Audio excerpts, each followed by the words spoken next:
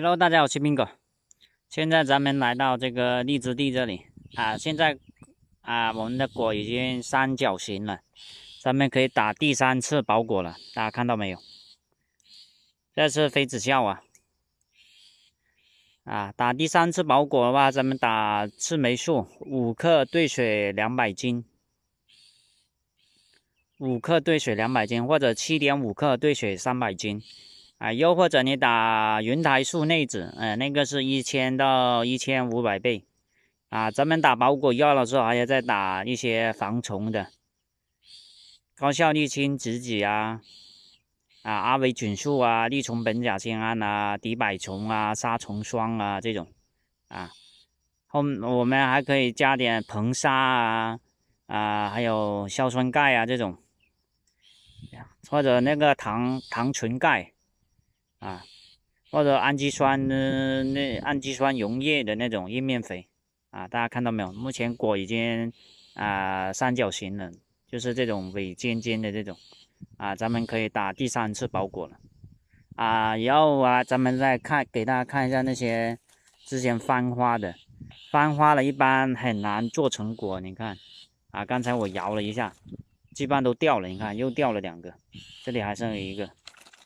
你再摇一下，说不定又掉了。它这个做不了果的，翻花一般很难成的。啊，给大家看一下，目前呃海南的应该已经有一些好像可以摘了，可以上市了。妃子笑啊，我们这边现在才到三角形啊，还是比较慢的，还要下个月才可以。下个月这个时候啊，下个月中旬的时候吧，啊，大家看到没有？这是妃子笑啊啊！如果你妃子笑像现在这样，就是三角形，啊，就可以打第三次包裹了。大家看到没有？这一串如果成的话是可以的啊，七十、二十、三十，有三十粒果。这一串，你看刚才一碰又又掉了好几个啊！落果肯定是有的，那这个正常的生理现象嘛，大家应该也知道，第一次落果，第三次。第二次、第三次啊，呃，它这个是正常现象啊，对呀，它里面应该看一下，它的核都还还没有发育完成啊，大家看到没有？你看，就就有一些果落下来嘛，看这边，哎，这种这种果很多，你看刚才摇了那种小果。翻花的，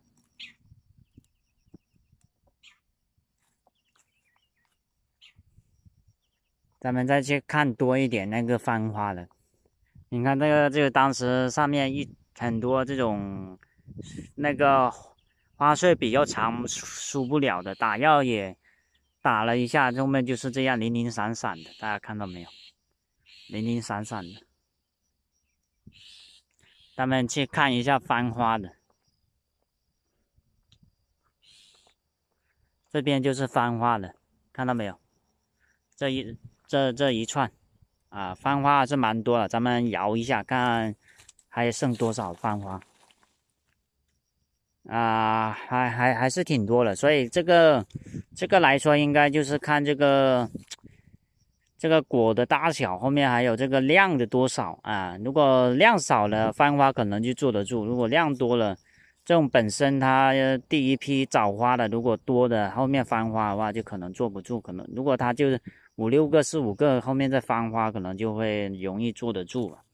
啊，像这种呃爆花了就就没来翻花啊。所以这边啊目前就是这样。咱们再看一下这边的，